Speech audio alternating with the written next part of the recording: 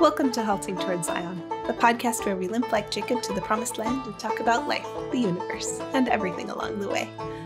I'm Emily Maxon, here with Greg Uttinger and Brian Brew. And today we are talking about altar calls, and one specific, quote, altar call, unquote, in the Bible, where Joshua says, Choose you this day whom you will serve. Uh, I think those words are often used in modern day altar calls. Um, but let's define our terms here. Uh, Greg, what what would you consider an altar call? What is this phenomenon that we are talking about? You know, it's interesting that Protestant churches don't have altars, so we're a problem up front. But it's a, a practice that's developed in American Christianity and from then spread around the world that involves calling people to the front of the church, someplace generally toward the end of a sermon, an evangelistic sermon, to give them an opportunity to commit their life to Christ. Now, there's problems with what I just said, theological problems and and um, grammatical problems, I suspect. But I I, th- I think it's that's fair enough, a fair enough explanation for most people. I, I think that, that most people who are involved in the practice would say, yeah, it's, it's kind of like that. They might want to fine tune it a little bit.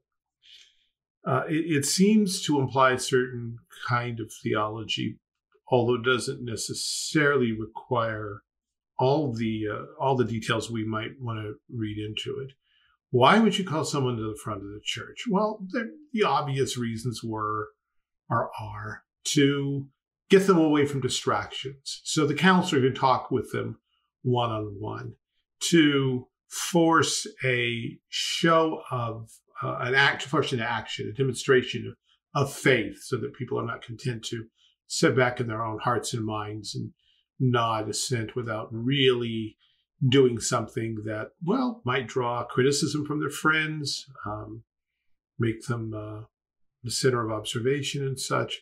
These, I think these are some of the reasons Yeah, are They've given. demonstrated that they made a choice yeah, by yeah. walking down. Now, if you're an Arminian, a semi-Arminian, or just a broad evangelical, you you might not have a problem with that. There are those of us who do. Now, we, as a good Calvinist, Calvinists, we need to be really careful. Does man make choices? Absolutely. Every day we make choices. People who are listening chose whether or not to turn tune in right now or turn on right now. Listen to this thing and to stay with us or not. Mm-hmm. Scripture and Calvinism's never denied that man makes choices. The question is, where do those choices come from? I think most Christians will say, oh, well, they come from the heart. Yes, they come from the heart. So, what's the nature of man's heart? Is it totally depraved before regeneration? Is it kind of depraved? Is it depraved in most areas except for, well, maybe one?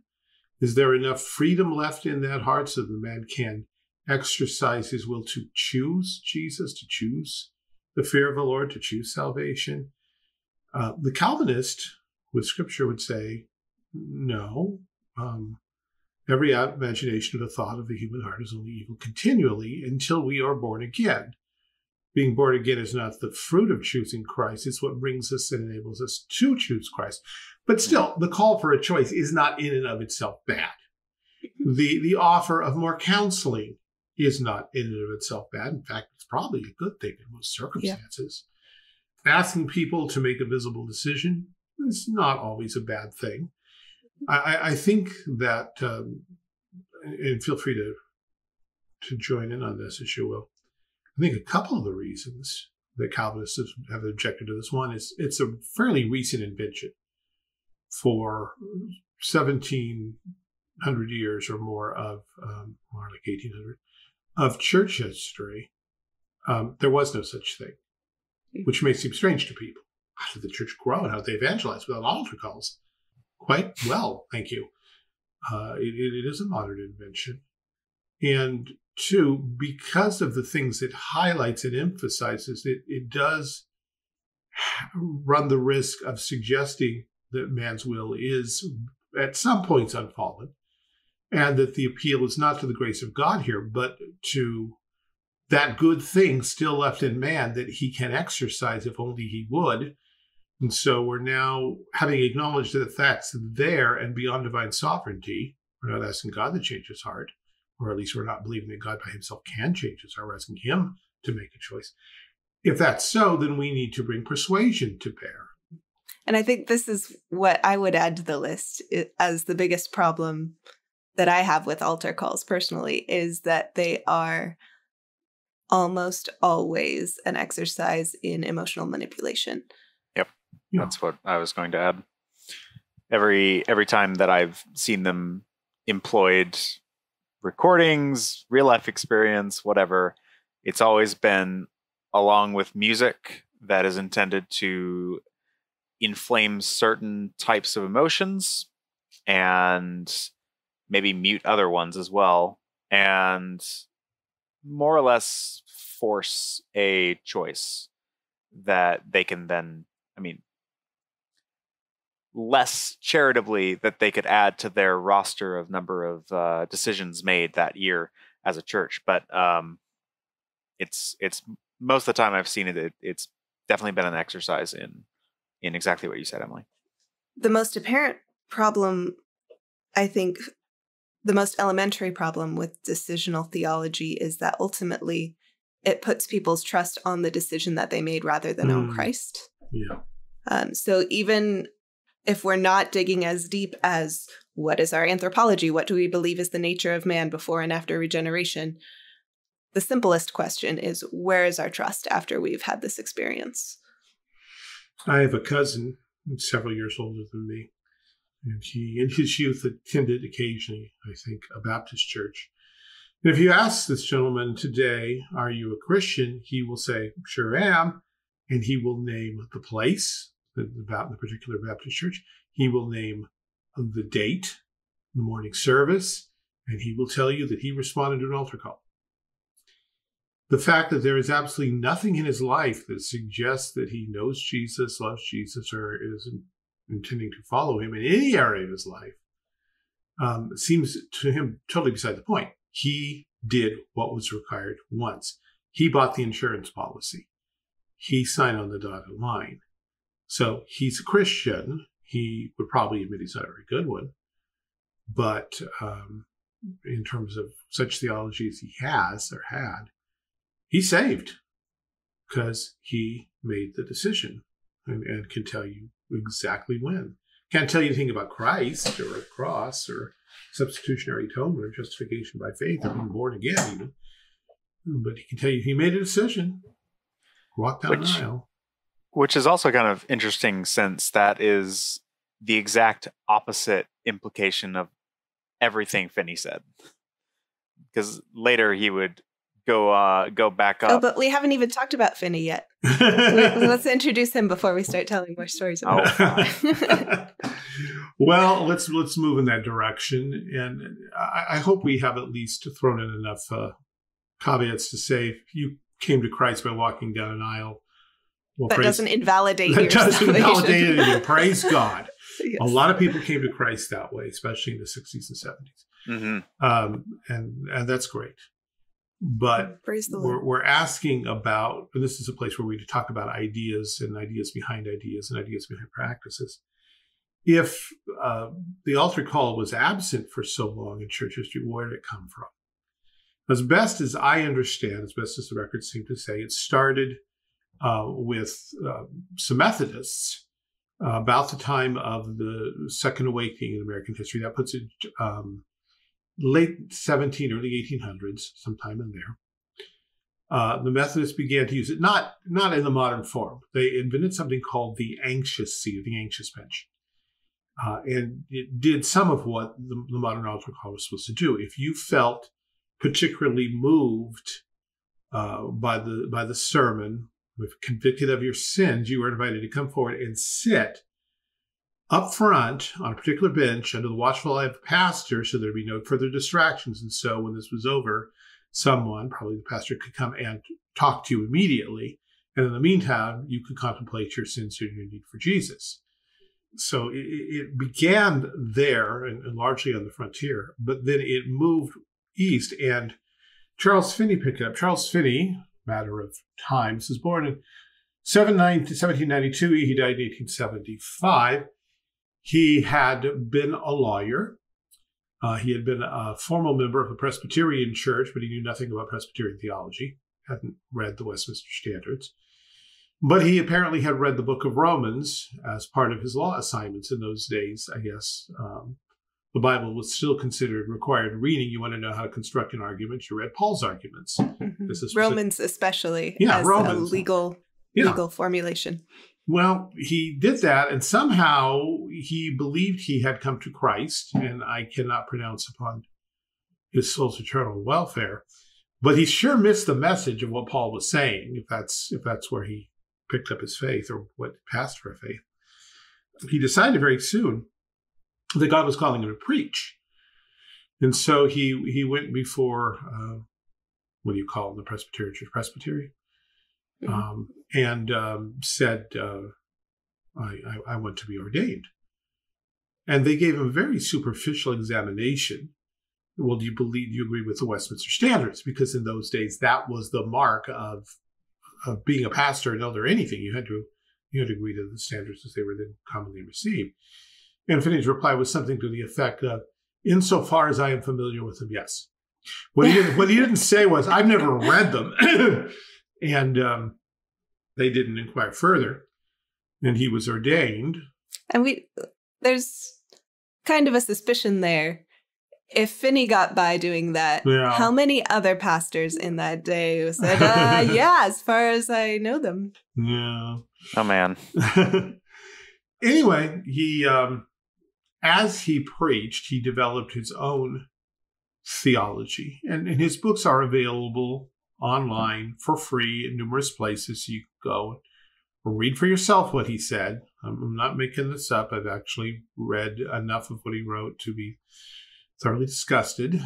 But you know, when when someone gets a reputation for serving Christ, and there's and the reputation includes, and there was this kind of fruit, so many hundreds or thousands of people came to Christ, and there was this change, this moral change, this uh, religious change. People say, you know, you, you hear that, you hear it from people you respect, you see it in church history books, and most people believe it because they don't have time to go back and do the original research and actually read what the guys wrote, said, preached. And it, you don't want to be disingenuous and think, oh, but they probably weren't really saved. Yeah, like, it's, uh, that's kind of a sick place for your mind to go immediately. Yeah, we don't we don't want to we don't want to jump there immediately. I heard good things about Finney for years, and even when I began to hear bad things, I, I still assumed, okay, well, he had some problems, but what what modern evangelist doesn't, you know, really. Right. But as I as I was as I read more specifically what he said, and then went and read what he actually said in his own words, I was somewhat aghast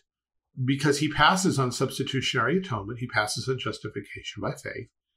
He says basically these things are illogical and impossible.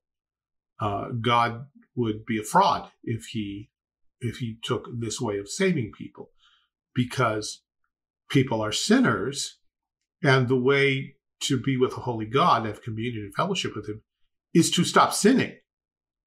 And just calling them righteous doesn't fix that.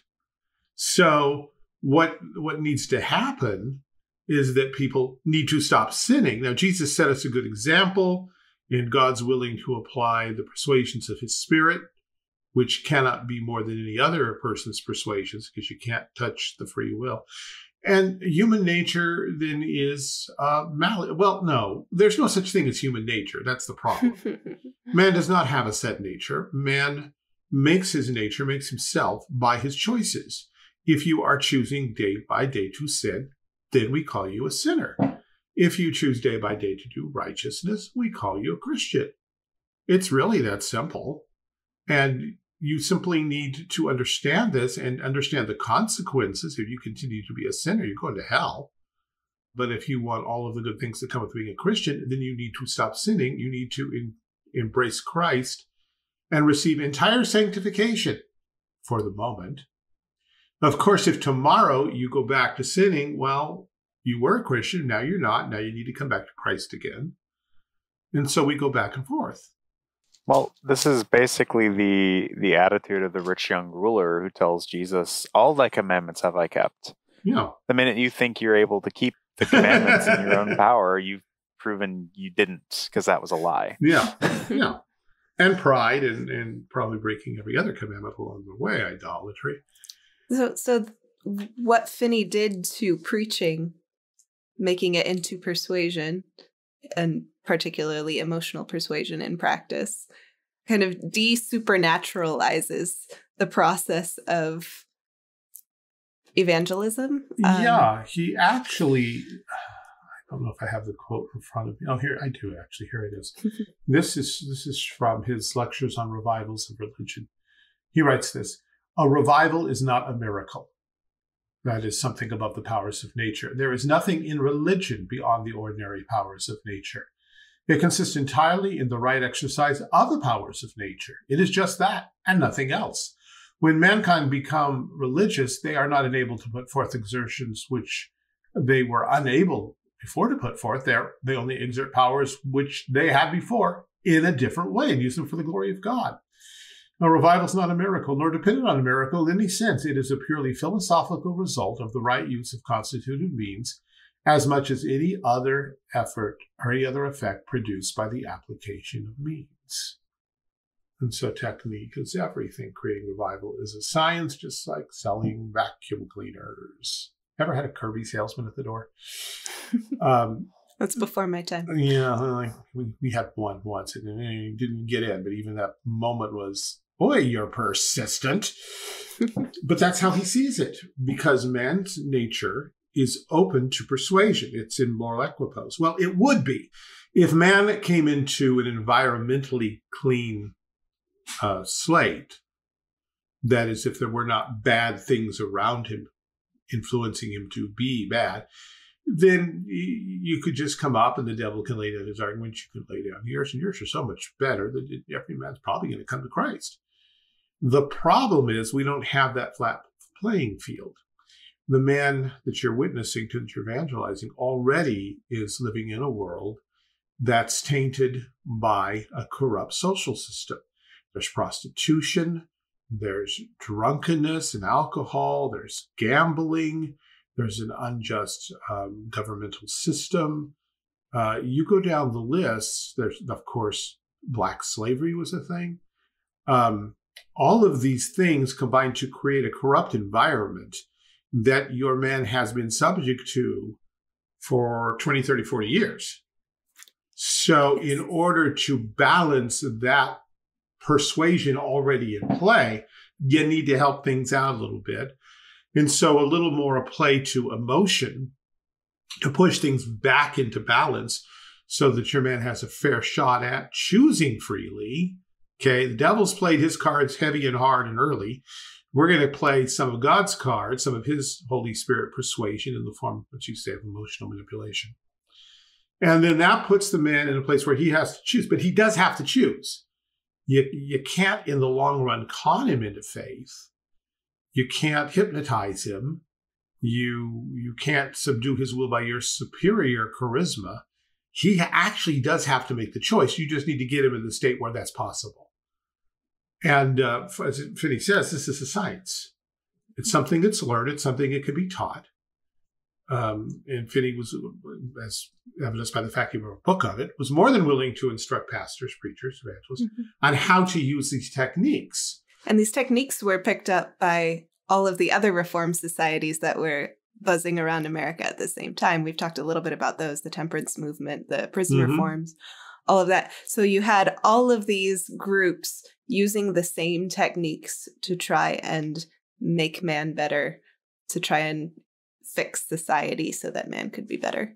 And what's at the bottom of this is a theology that says that man's nature is implicitly good. The man man has a good heart. There's good in there someplace. No, there's not. Yes, there is. No, not. Yes, there is. I can I can feel it.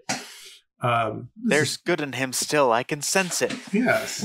Basic romanticism, uh, before it really, I don't know, wasn't a place to have that label, but the roots there are in Rousseau and further back. But once we once we've admitted that man is basically good, or at least potentially good, or there's some good left in you, then the problem must be the environment. And here, for the most part, although not exclusively, uh, we're talking socioeconomic environment.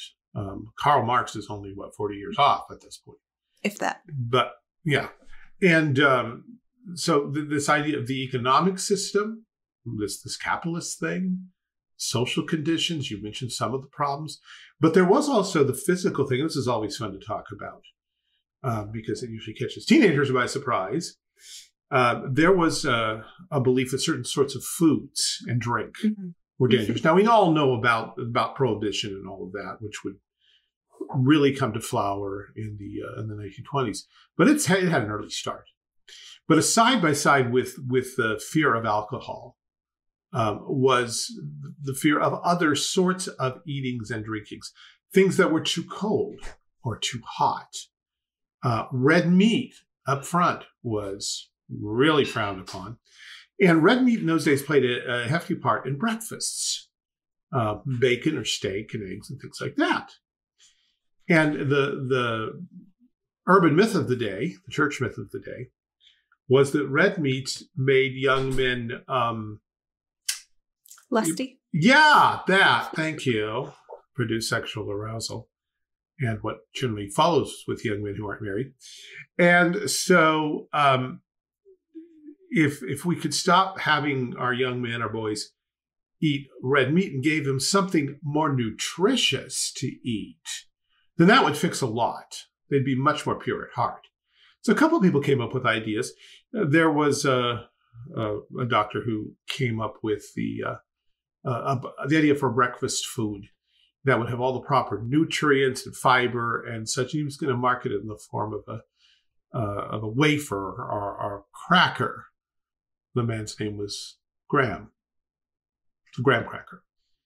Uh, about the same time, and, and of course, this whole era meshes with the whole obsession with prophetic speculation. There was a group of Adventists who also were, were afraid of the dangers of red meat, and in fact, of anything that wasn't kosher. But they were they were pushing even beyond the kosher laws.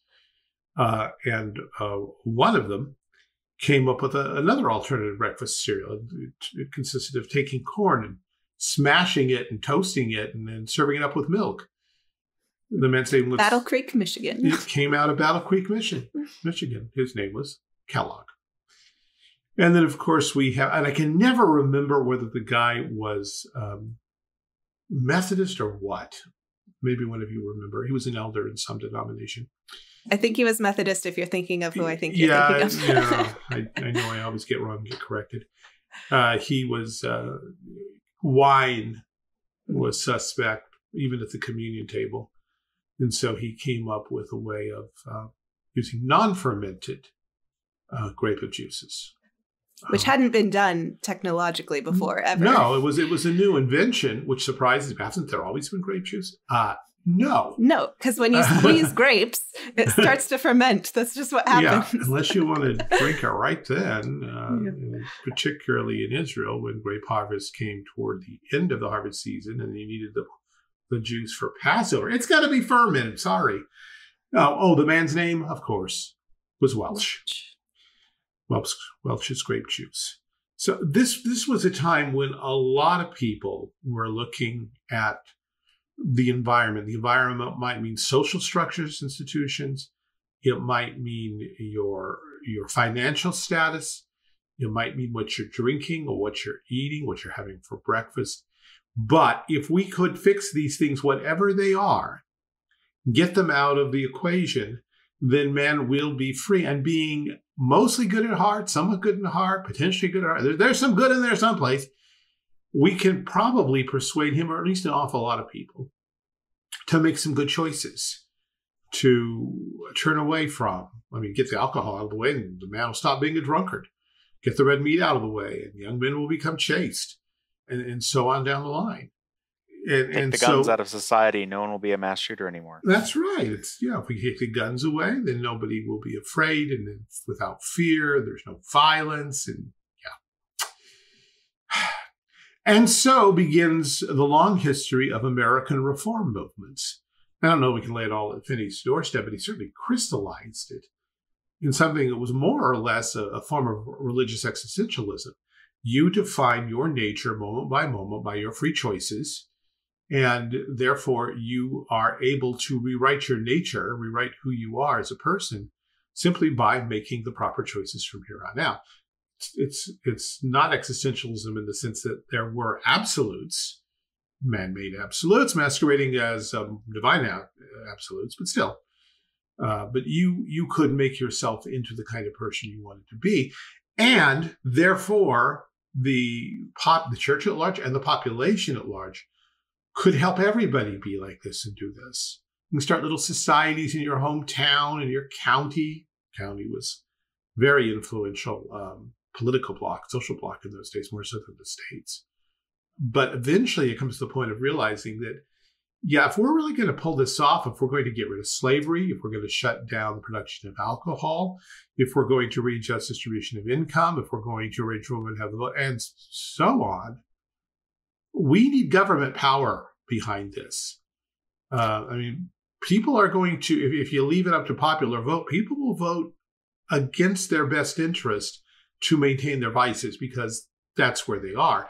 But once we're able to get the right laws passed, and we get we dismantle the things and get rid of them, then everybody, then they'll be the sigh of relief and they'll be so much happier. And they'll thank us and they'll be glad that we did it. And this will be the beginning of marvelous freedoms. Uh, social utopia will arrive. Or as uh, Finney says, um, he basically, oh yeah, here he is. If the whole church as a body had gone to work 10 years ago and continued it, as a few individuals whom I could name have done, there might not now have been an impenitent sinner in the land the millennium would have fully have come in the United States before this day. And this is the abolition movement as well. Sometimes yes. it's it's easy to give that one a pass because obviously slavery is horrible. Right. But the same political the motivations, same the same theological motivations were pervasive throughout that movement, which is why you have individuals here and there who would say, Yes, I am so anti slavery. The only thing I hate more than slavery is abolitionists. Yeah, indeed. Uh, sometimes with justification. Abolitionists invented terrorism in the person of John Brown, but that's another discussion for another time. Mm-hmm. Or perhaps it isn't, because this is what happens when you become firmly convinced that your one pet principle defines the human condition, the human need, the need for salvation and what God's all about in your time and era, then everything needs to serve that point, whether it is women's rights or prohibition or abolition or um, readjustment of uh, redistribution of income, uh, whatever, and I'm sure prison reform, whatever it is, if you're not for this, then you're on the wrong side. You are God's enemy at this point. And you may be deluded and you may be mouthing platitudes taught to you by people you shouldn't trust, but the fact is, you're in the way. And therefore, in the long run, there are no innocent bystanders. You may think you are. You may think this isn't even your struggle. You've done nothing. You're not involved. But if you're not, as I used to say in my generation, part of the solution, you're part of the problem. And so, in the person of John Brown, some Unitarian Transcendentalist ministers in Boston created terrorism. Go out and kill some innocent people to show everybody that you're not messing around and that everybody needs to get on the ball and everybody needs to change, or more innocent people will die because, you know, they're not really innocent. They should be out there doing something right now. It's that serious, it's that important. And because we are so absolutely dedicated to this particular movement, we are absolutely righteous. We are the good guys and being the good guys, whatever we decide to do, whatever we have to do, whatever fate lays upon us, it's for the kingdom of God. Glory, glory, hallelujah. And it's frightening. Mm-hmm. Mm-hmm. It is terribly frightening. And we still see it today, although less and less the name of God or Jesus is used, but still uh, love, compassion, mercy, human rights, dignity, things, things that are most certainly Christian inheritance, Christian vocabulary are used to provoke people to social movements to fix the one thing. And if you're not on the side of this movement, you're the enemy. And uh, they can say and do horrible things to you with a clear conscience. Uh, they believe they're right. And so this is where Romanticism and Transcendentalism have led us, or Marxism has led us, progressivism. Uh, in the name of, by, by saying this thing that seems noble, man is basically good. Wow, isn't that great and sweet and noble and uplifting? it's one of the most horrifying things imaginable because it's a license to destroy everybody who stands in the way of your little narrow vision of making the world good. Hmm. So, can't lay it all at the doorstep of Finney, but he did not help. He systematized, he popularized, and um, it looked good. It looked good.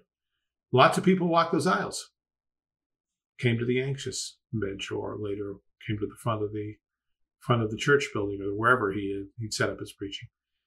But when it was all over, Finney was able to look back on the fruits of his labors, and he found that most of the people who had come to Christ didn't go to church anywhere. The, the region he had preached through was called the burned out region in New York because people were burned out in religion. They'd gotten excited.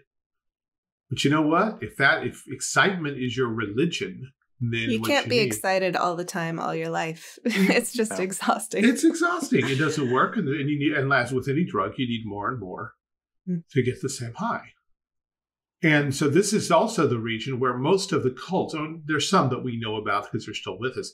There are all kinds of weird cults and, and Mhm. communes and attempts to create utopia that sprung out of this region in those days. Uh, Mormonism being one obvious example, but there were many others because people were just looking for something weird and different, exciting that had that religious twang, and they knew they weren't going to find it in church. So people deserted churches, and Finney, at the end of his life, had to admit, and he did, that it, his labors were mostly worthless. He sowed the wind and reaped the whirlwind, and of course, he blamed his converts for not staying with it, but that that that's what you get. Now, given this and given his take on, human beings, there's one other thing I, I want to throw into into the equation. On at least one occasion, he was asked, "Well, what about small children?" Because of course, Hmm. Finney's arguments are arguments for adults, for big people, people capable of rational thinking, thinking like a lawyer. Uh, and, and even his sermons would have been more, um, would have had more depth than a lot of what passes for sermons in our age. But what about small children who can't follow those kind of arguments and aren't open to that kind of persuasion? This is, this is his response. All that can justly be said, dot, dot, dot, is that if infants are saved at all, which I suppose they are, they're rescued by the benevolence of God from circumstances that would result in certain and eternal death, and are by grace made heirs of eternal life. But after all, it's useless to spec- speculate about the character and destiny of those who confessedly are not moral agents. It's from his lectures on systematic theology 40. Not moral agents, not human. So his basic his argument was, well, I guess they're saved, but uh, But more because that makes us feel good about the character of God. yeah, uh, that's about it. Because uh, he says his language is interesting. They're rescued by the benevolence of God from circumstances that would result in certain and eternal death. Not not from a corrupt nature inherited from Adam, because he didn't believe in that. Mhm. They hadn't sinned yet if they, They- weren't moral agents. yeah, they haven't sinned, but the circumstances into which they would would grow up, or if they were if they died in the womb into which they would be born, uh, would likely issue in them becoming sinners and going to hell. So. Uh, Well- God's probably does something with them, so I guess he saves them, but speculation. Who knows? I mean, they're not even moral agents. Well, what's so interesting about that is that he basically makes an argument uh, until he gets to the end that is almost Calvinist in its underpinnings. oh well, the, God is so benefit, benevolent and great, gracious that He saves them from circumstances that would certainly lead to their death. Right. So why does He stop being benevolent and gracious once you get past a certain age? yeah. And plus the the grace of God is totally unconnected with Christ. yeah. It's Yeah. God simply doing things arbitrarily without foundation. Yeah, well, God's a good old boy, and he does stuff like that all the time. Yeah. Because I would, wouldn't you? I were God, I'd save children. Now, Calvinism traditionally hasn't come down really very clearly on what happens to um, children who die in infancy. But where covenant children are concerned, I think the consensus is pretty firm based on David's confession that they will not come back to us in this life, but we will go to them. Covenant children are saved. As for the rest, there's been an argument back and forth, which I don't want to get involved in. Will not uh, the judge of all the earth do right? The earth, yeah, the judge of all the earth will most certainly do right. And um, that's that's not for us to go there. We, on the one hand, we yeah. don't want to say I mean, that those those who abort babies by the thousands are the greatest evangelist of all time. However, I mean, the Westminster even says, you know, elect infants. Elect, right, elect infants, and it doesn't specify Which, who those are. It again, it leads it up. It leaves it up to God's sovereignty. Right, and I think that's what we need to do as well. So we don't want to be a discomfort to those who are outside the faith. God, is good. God is merciful, but we cannot pin him down on things where he has not promised. So we want to be very careful there. On the other hand, there are some things we can say because God has been very clear. And th- that has to do with this so called age of accountability. Now, um, let me ask you what you two have heard. I, I apparently went went dark for a, a, couple decades and lost track of what uh, evangelical society was saying. What are you told, or what do you hear is the age of accountability now? Uh, I've never heard a firm age posited. Roughly, it's very I much think... a well. It it depends on the person you're talking about. Yeah. so like you can have a, a four year old who professes faith and yeah, that's perfectly valid. But if they're like eight and maybe they get to 13 and they want to rededicate, then yeah, eight, eight probably wasn't good enough. And yeah, when when I was young and listened to a lot of Christian radio, uh, the impression I got was that as soon as a child was capable of saying, I believe in Jesus or I love Jesus, um, the, the, child was at least old enough to know right from wrong and to know what sin was and to recognize his or her need for a savior and to ask Jesus into her heart. This is why there were uh, backyard clubs and, and VBSs that were evangelistic and such, not not for the nurture of covenant youth, but to reach out to to small children and get them to to ask Jesus into their heart, make some kind of profession of faith. I I remember the Left Behind series.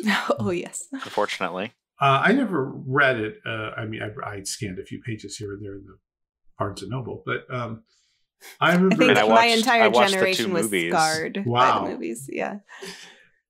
But at some point, someone told me, and so I, I, I believe this is correct. Maybe you know that when the rapture happens in those books or in the movie, um, it takes away not only professing Christians and small children, it takes away teenagers as well. You, I remember that. Okay, so well, there was the there was a whole parallel series of books about the kids who were left behind. Ah, okay, so some some yeah. did stay. All right, yeah. Um, but what, whatever the case, I am now hearing, as you say, 13, 14, 20 this is frightening. Even a child is known by his doings, whether his works be pure whether it be right. The Bible leaves no such vagueness. But but here's the thing. Uh, yes, we're endangering individual souls because we're not telling small children the gospel. That's horrible. But it, it gets worse because what we're saying is if the child's not a moral agent, we're saying the child has no relationship with God.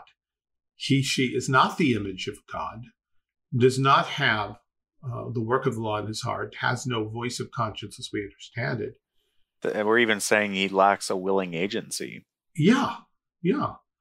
So, uh, pretty much on all fronts, we're saying the child's not human. Now, what happens when the when the church says these two things. The most important thing in man's social religious life is his ability to choose freely without coercion. And secondly, and children, by the way, are not really human. What happens choice. when you put pro choice together with children that aren't human? And you let that percolate. for about 300 years. And you let it percolate in a society that uh, was once Christian and quickly just kind of forgot about it all. Yep. You know, some some people will say that the, the church is always readily influenced by the world. There's truth in that. But in the long run, the church is the center of the world. It's where God meets with man. And what happens in the church has far more uh, long reaching effects than anything the world does.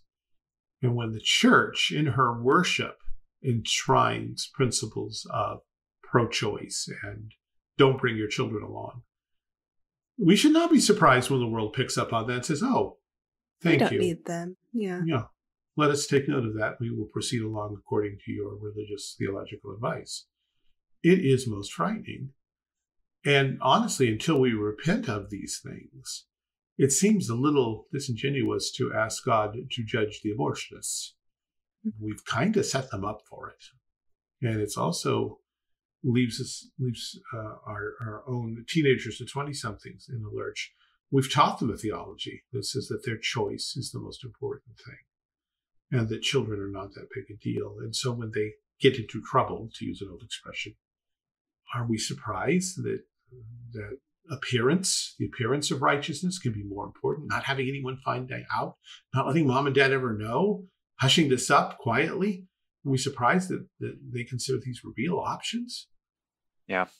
I mean, you you end up with that still in in very extreme conservative patriarchal circles Mm-hmm. where mm-hmm. you basically end up with someone who their church community is basically will help you out as long as you're living a holy life and as long right. as you've never made any mistakes and as long as there's nothing weird or bad on your record. So people even in really conservative societies get driven to abortion clinics by people that are thinking of the best for them, quote unquote.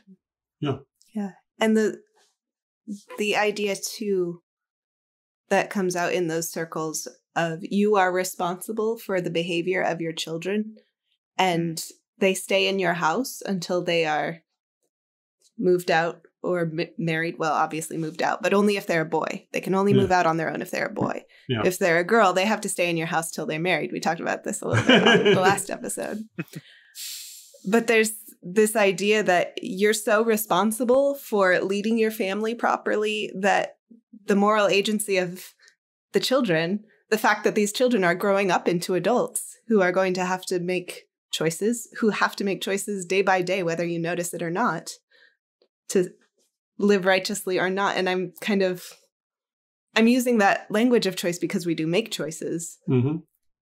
But we've emphasized, we've put pushed the idea of choice so far away in those circumstances that we don't recognize the real the real choices that are being made.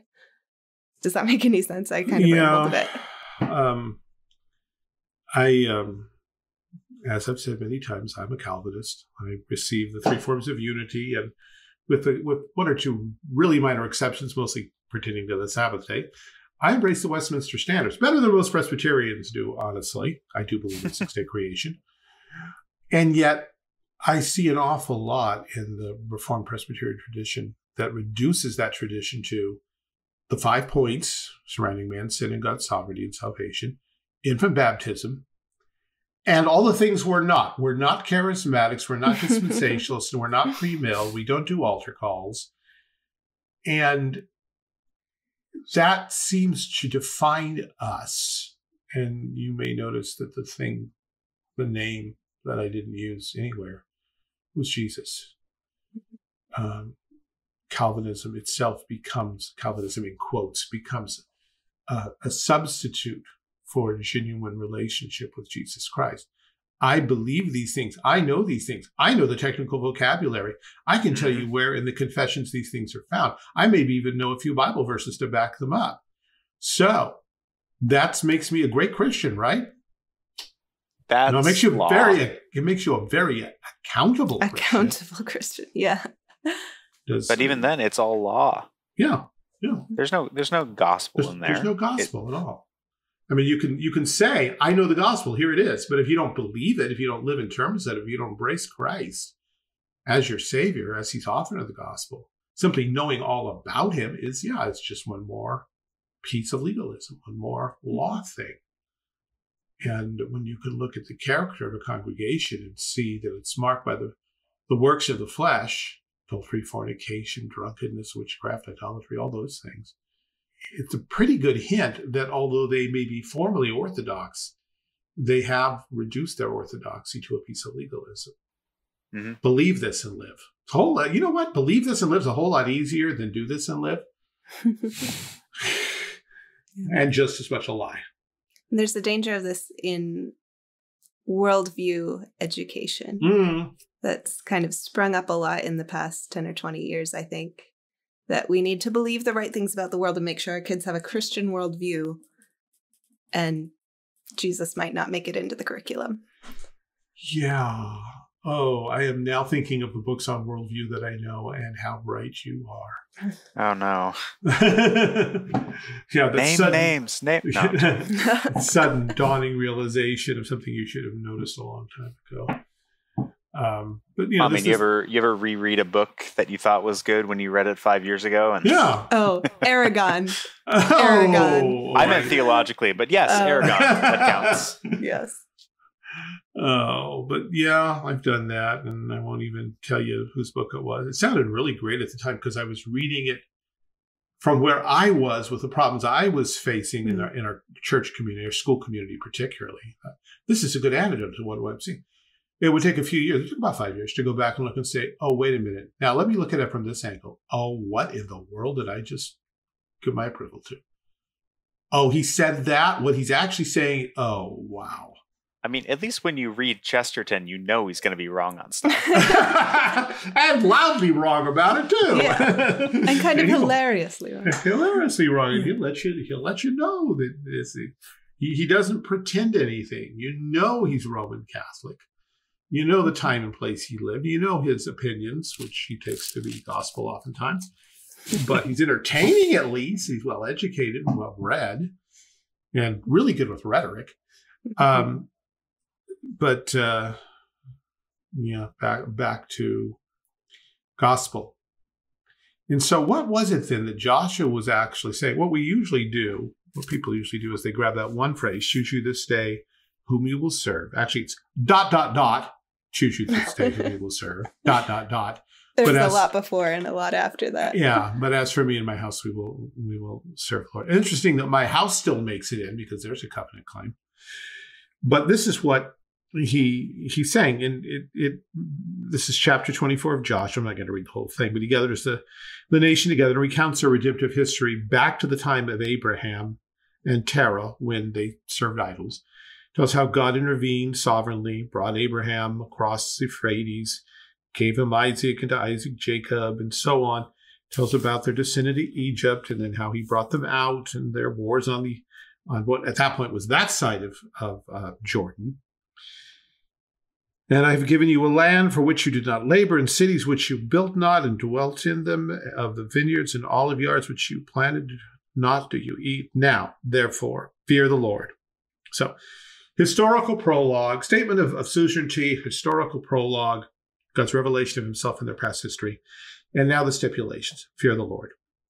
Serve him in sincerity and truth, and put away the gods which your fathers served on the other side of the flood, that is, on the other side of the river Euphrates. So there were people who had brought idols with them, members of, of Abraham's sheikdom, which numbered in the thousands. Some some of them had brought their idols along, little teraphim. They still those things were still circulating after all this time. And then they picked up more in Egypt. Uh, put away the gods which your fathers served on the other side of the flood and in Egypt, and serve ye the Lord. And if it seem evil unto you to serve the Lord, choose you this day whom you will serve. Like, take your pick. You can have any of these false gods. yeah, you are absolutely free to choose any false god you like, whom you will serve, whether the gods that your fathers served that were on the other side of the flood, or the gods of the Amorites in whose land you can serve the ancient false gods or the new pop false gods. You can choose any god you want. That's the point of choose you whom you will serve. He'd already told them they ought to serve Jehovah. Mm-hmm. That was a command. That, was that a a choice offered. no, it was not. Well, you know, Yahweh would love to have you if you just come down. He's waiting right here with open. Fear the Lord. This is your obligation. This is the whole duty of man. But if not, then let's talk free choice. You can choose the gods of your fathers, Abraham, Terah before him. You can serve the gods in Egypt. You can serve the new gods of Canaan. But as for me and my house, we will serve the Lord. As I say, it is somewhat remarkable that uh, my house still is in there in most of the posters and Christian memes and things, because it is a covenantal statement. He does not say, as for me, I've chosen to free to serve the Lord. I've talked to my wife and she's on board. She's made her choice. And our older kids, they're with us. They've come to Jesus. And our younger ones, we know, we're we'll still let praying. them decide. We'll let them decide when the time comes, but we're praying for them. And then the little one, well, who knows? But uh, you know, she's hardly a mortal agent, but we're hoping. There's Mhm. none of that kind of nonsense. He chooses for his household. Now, does he choose eternal life for all of them? He chooses the path that is the path to eternal life, but apostasy is a real thing. And so, in that respect, this is less a subjective claim as it is an objective one. We are submitting ourselves to the terms of the covenant. And since he's saying it, he means I sincerely, but he does not presume to read the hearts of his family just to know what where they're standing as far as he can tell and what track they're on and that as head of the house he's making the commitment for the family they don't His they don't- family is officially a Christian family. it is a christian family you know which which in itself uh, rings all kinds of bells can you do that can you have a christian family well can you have a christian church really Can you have a Christian rock band? Yeah. what what what what what are we here we're talking covenant. And they are covenanted. Well, now what happens next is really interesting. The people, verse 16, the people answered and said, God forbid that we should forsake the Lord to serve other gods. For the Lord our God, he it is that brought us up out and our fathers out of the land of Egypt from the house of bondage, and which did those great sign, signs in our sight and preserved us in all the way wherein we went and among all the people through whom we passed. And the Lord drave out from before us all the people, even the Amorites which dwelt in the land. Therefore, we will also serve the Lord, for he is our God. Wow, isn't that the kind of response that every evangelist wants? The whole crowd saying, No, no, no, no, don't try to turn us off. Don't tell us to call, count the cost. We've counted the cost. We're going to serve the Lord. We're on the Lord's side. Let's all start singing that hymn, guys. but what does Joshua say? And Joshua says, You can't serve the Lord. That's Uh, not what they tell you to say in, in preaching school, I bet. No, I don't think so. For he's a holy God. He's a jealous God. He will not forgive your transgression nor your sins. If you forsake the Lord and serve strange gods, then he will turn and do you hurt and consume you after that he hath done you good. Now, he's not, Joshua's not saying that God doesn't forgive sins. We, we've seen enough of that uh, in uh, God's self revelation in, in the Torah and Deuteronomy, especially, that God defines himself as the one who has mercy upon his people from generation to generation, who's merciful, forgives sins.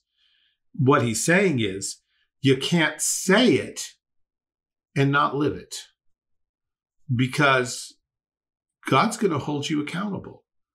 God's going to take your confession and your oath seriously. You're coming near to God in a covenant oath. Now, I can't see your hearts, but God can.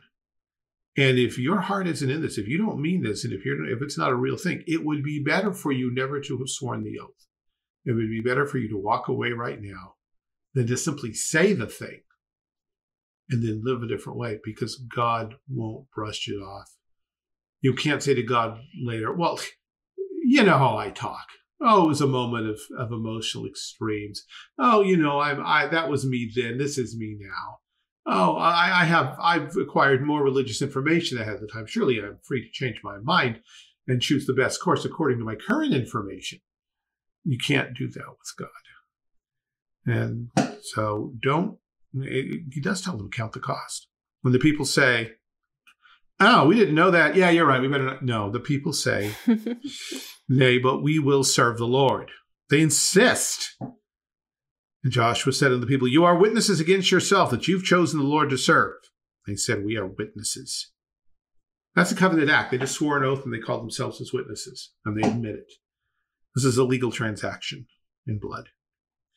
And Joshua I, I said, love I love how Joshua is just like I've lived with you guys. You guys are you're you're you're witnessing against yourself here. yeah. And he said, and, and that follows with this. Now, therefore put away, said he, the strange gods which are among you, and incline your heart unto the Lord God of Israel. Okay, that was brilliant. Great speech. All those little idols, throw them out now. Burn them, smash them, get rid of them now. Can't go on like this. You can't halt between two opinions. You can't serve two gods. The people said unto Joshua, The Lord our God will we serve, and his voice will we obey. God and Joshua made a covenant with the people that day and set them a statute and ordinance. In Shechem, he wrote the words in the book of the law, and as he adds to the Torah, that's another discussion, and um, uh, took a stone and set it up there under the oak. It was by the sanctuary of the Lord and said unto uh, the people, Behold, the stone shall be a witness to us for it hath heard the words of the Lord, which he spake to us. It shall therefore be a witness unto you, lest you deny God. They just said they were going to be witnesses. We got what, two, three million people. And Joshua says, Yeah, you're with never mind, let's get a rock. okay, this rock, it heard things too. Joshua, the, the, the rock isn't sentient. No kidding. it still may be a better witness than you guys are. We'll see how this plays out. He, I, I, I think he went away hopeful, but perhaps unconvinced. And the first chapter of Judges suggests that they did a pretty good job of walking with the Lord. Although in Othniel's day, and Othniel was a younger man, but during his days, apostasy set in for a little while. And uh, God used uh, kings of Mesopotamia to uh, chastise his people and put them back on track for a while. Mm-hmm. But we're coming up on on uh, Judges next, and uh, that'll be a roller coaster of up and down, back and forth, round and round. Yeah. So again, once again, we this see this is the problem. Yeah. We're, we're we're we're kind of in the Old Testament, and and all the ending notes are not happy because Jesus hasn't come yet. Right. We're waiting for Jesus to come, and uh, you know, Genesis begins with God created heaven and earth, and it ends with Joseph in a coffin in Egypt. Uh, Deuteronomy ends with "Here's the word of the Lord." Ends with Moses dying and no prophet like him rising again. It's it's we're kind of the judges. We're we're taking the land, and it ends with the and the Levites are completely blowing their job as pastors. There are some there are some bright notes. Ruth comes to mind. Mm-hmm. We'll get to eventually. But we're waiting well, for Jesus. Yes.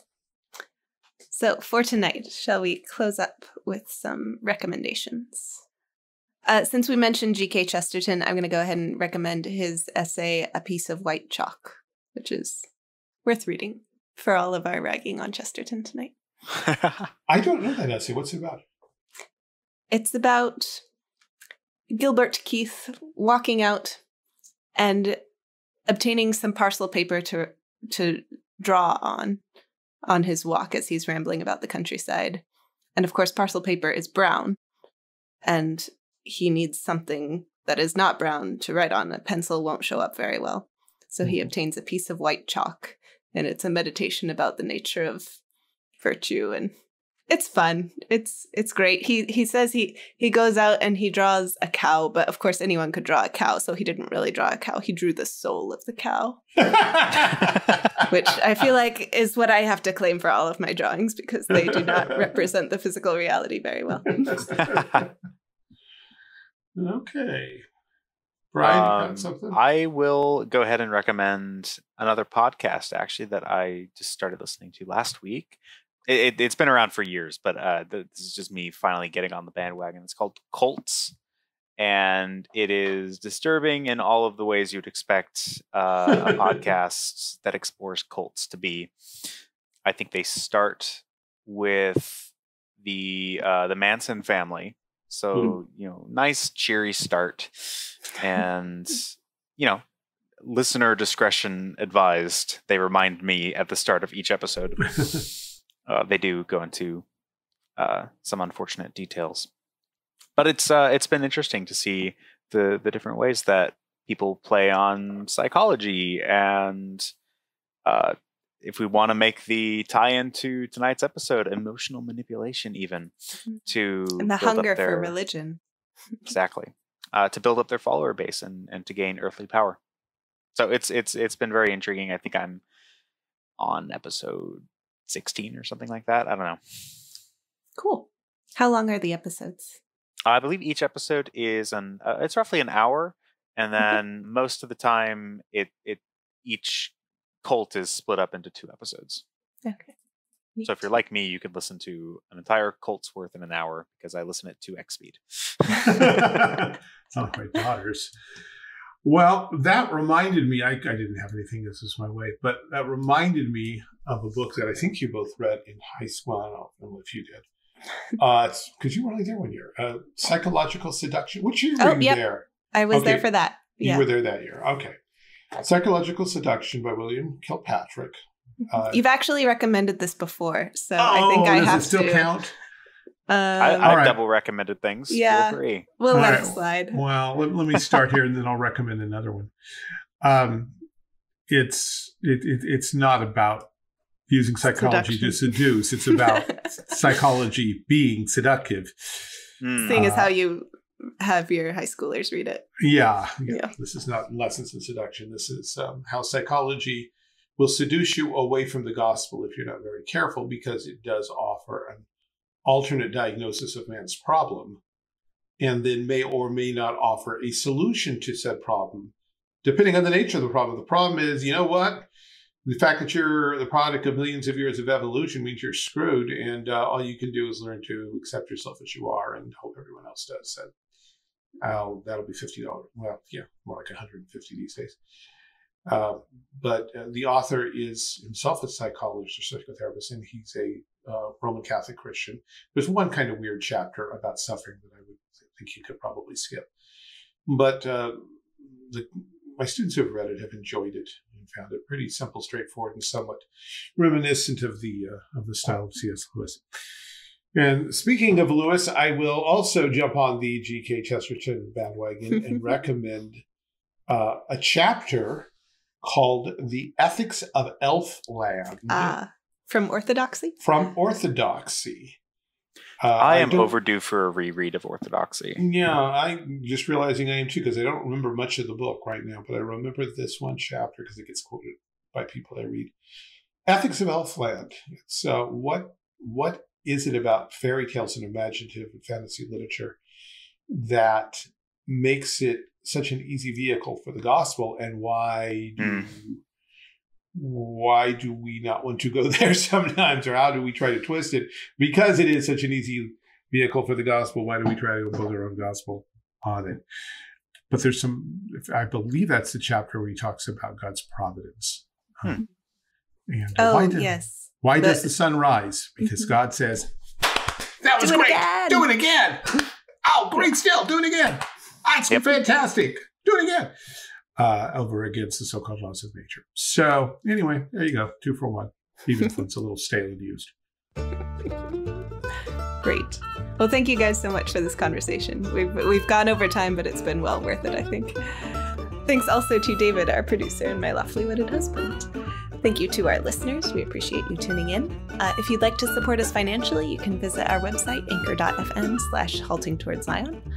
Uh, if you'd like to get in touch with us, we'd love to hear from you. Uh, send us an email at haltingtowardszion at gmail.com.